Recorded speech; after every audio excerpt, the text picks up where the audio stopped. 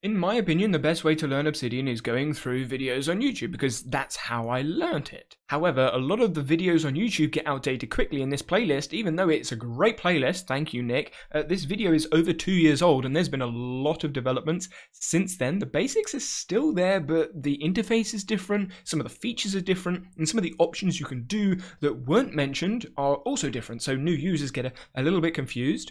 And because of the vast amount of features that we have in Obsidian, some videos can be rather long. I mean, this one I thought was quite short because I went through everything in uh, just over an hour, but it, this could easily have been a three hour video. And even with all of these topics covered, it still might not have the answer that people are looking for if they're looking for something really small or specific or niche with the Obsidian app. And as much as I love looking through all of these different Obsidian videos and writing related videos, searching for something really specific is not easy on YouTube. Even though you can get through them fast by putting them on times two speed, you it, it's more fun to go through them than reading text and you get visual explanations. There's still limitations. On the other side of the help information, you've got the Obsidian Help Docs, which is great for searching through. You can search through the headings and some of the specific pieces of information, but it's all in text. And that means that going through each of these lessons, each of these things, is just not as fun as watching a video from my experience. And with the official Obsidian help, it doesn't cover all of the community stuff as well, which is when you'd go to the Obsidian Hub, which is essentially the Obsidian help docs, but made by the community, so the Obsidian Hub. But it's a similar sort of issue. When you when you go in, you you either need to search or you need to know exactly what you're looking for to be able to find it. And even when you get there, sometimes it directs you elsewhere or doesn't give you the, exactly the information that you want. It may direct you to something in a Git repo. In an ideal world, the plugin has some help documentation that looks like this, but I mean, this is Dataview, and when you look at it, it's it's not a show and tell. It doesn't show you what to do. It sort of tells you this is how to do it, and then you've got to go and replicate it inside of Obsidian, which worked. Don't get me wrong. This is how I figured out a lot of Dataview, but it's it's still difficult to get hold of. It's not just something you can just see it work and apply it. And that's where I'd use things like the Obsidian forum, go to the help and ask for help, or look at the announcements of bug reports and things like that. Or go to the Obsidian Discord, which, I mean, yes, it's very, very busy, very hectic, and there's loads of comments going on.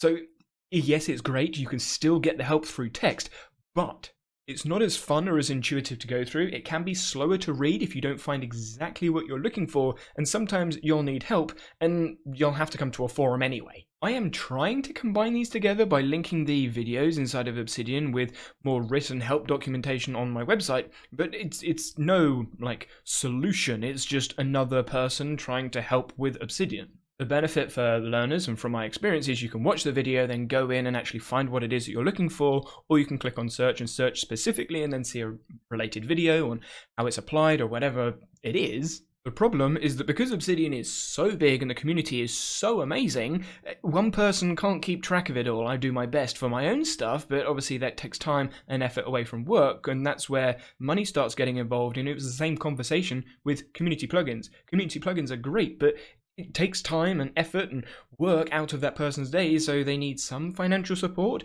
And Obsidian are focused, they are zoned in on the application, which is amazing. It's just the help docs are a little bit confusing to new users, especially. I've tried to get some new users in there and they just get overwhelmed. So when people ask me in the comment sections and inside of forums, how would you suggest a new user getting started with Obsidian, my go-to response normally is to watch a couple of Vault builds or videos of people using Obsidian, then trying to find a purpose. Like, why do you actually want to use the app? If you don't have a reason to use the app, you won't learn how to use it, why you want to use it, or what features you actually need slash want. So watch a couple of videos, see what Obsidian's about, then have a use case, have a, a purpose for using the tool, then go and find the specific answers for the questions you have, either through the help documentations, the forums, through videos, or a combination of the three. I don't think there is a one size fits all solution to learning a tool like Obsidian with far too many features to list. They're just a few of my thoughts about how to learn Obsidian, but if you have learned Obsidian, let me know in the comment section below so other people can read.